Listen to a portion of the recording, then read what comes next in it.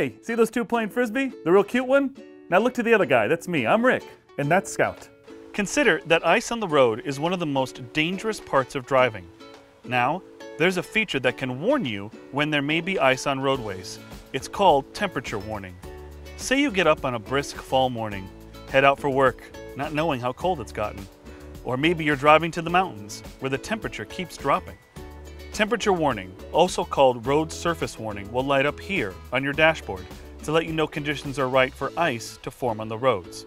In the future, this feature may be tied to your GPS and infotainment system so that temperature warning is actually receiving weather data alerting you to black ice, snow, and other hazardous driving conditions. Car technology is constantly changing. We're here to help.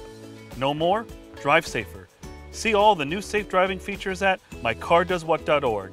That's mycardoeswhat.org.